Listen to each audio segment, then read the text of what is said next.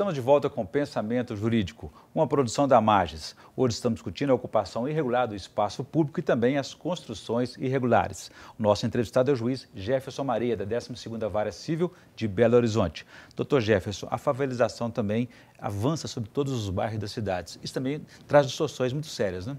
Traz. É um problema, aí a questão é social. Um problema, problema aí é crônico.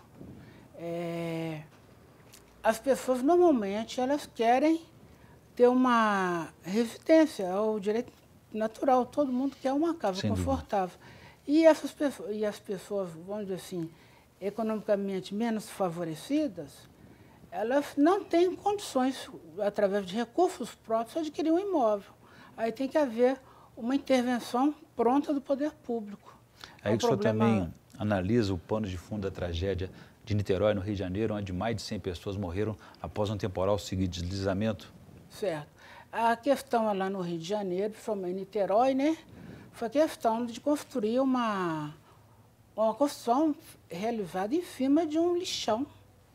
Quer dizer, aí a questão é, é social, quer dizer, é como a gente, essas pessoas querem construir a vida, que a, a, casa é uma parte da vida da gente, quer dizer, a pessoa vai construir a vida em cima de um lixão,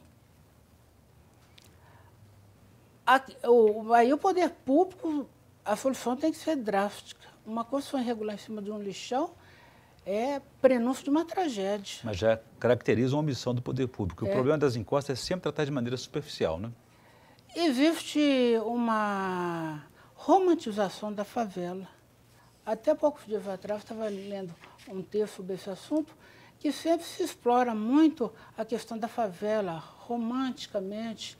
São pessoas é, que precisam assim, de um apoio, é, são pessoas politicamente, existe muita utilização política. Infelizmente, a gente sabe que existem os maus políticos que, muita, muita, que querem transformar as pessoas carentes, infelizmente, num curral eleitoral. E no momento que o poder público tem o dever de remover uma favela, existe uma exploração muito grande nesse aspecto. E é importante, doutor Jefferson, que nesse momento, ou antes até dessa ocupação, que os prefeitos, as prefeituras, façam um mapeamento, né, um mapeamento localizado, geográfico aí, para identificar as áreas de risco de cada cidade.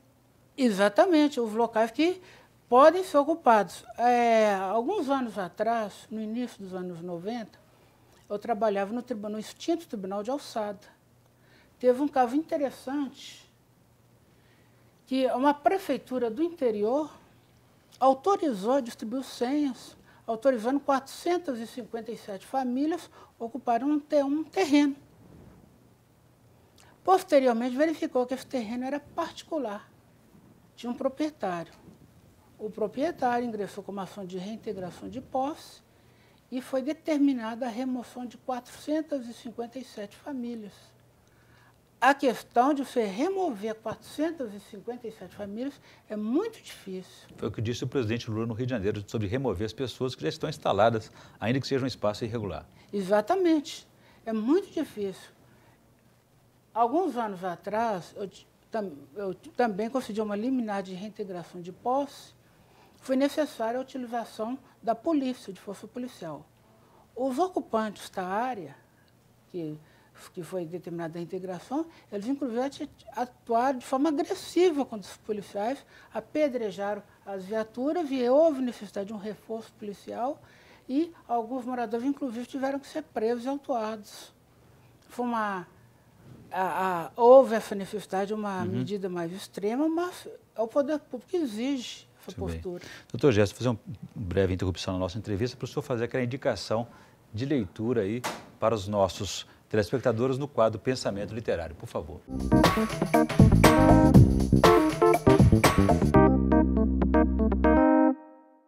É, o livro que eu indico é o clássico do direito brasileiro, que é o Eli Lopes Meirelles, o livro Direito de Construir. É um livro já antigo, mas ainda considero uma excelente indicação.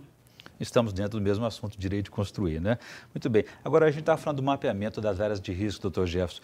O complicado das áreas de risco não é simplesmente definir, identificar quais sejam, porque a ocupação continuada vai tornando insegura aquilo que antes, no início, não se apresentava de forma insegura. Então, tem que ter um monitoramento certo. constante. É Permanente. Incubir ao poder público identificar uma ocupação irregular, uma ocupação em área de risco e, infelizmente, não pode haver, nesse aspecto, eu entendo que não pode haver negociação. O poder público aí é a vida do, das pessoas que estão em risco. E o poder público tem que agir imediatamente e ter uma atitude dura em relação à ocupação em local de risco. Aqui em Belo Horizonte, por exemplo, estão, está tramitando na Câmara Municipal a, a, nova lei de uso e ocupação do solo. Essa lei tem que estar sempre sendo renovada, não é verdade? Exatamente, vão surgindo novos problemas e aí a lei tem que ser é, adaptada aos problemas novos que vão surgindo. Uma outra preocupação sempre quando acontecem os temporais são os, os desgastes, os danos provocados pela falta de energia elétrica. O que, que o cidadão pode fazer nesse caso? Quando a pessoa tem um aparelho danificado, ele existe ação contra a CEMIG. Que a CEMIG é uma prestadora de serviço, ela tem que garantir a qualidade do fornecimento de energia elétrica. Ok. No caso da tragédia, quando ela é provocada por um temporal, isso diminui a responsabilidade do poder público? Não, porque eu entendo que as chuvas é, foram um, casos extremos, elas são previsíveis.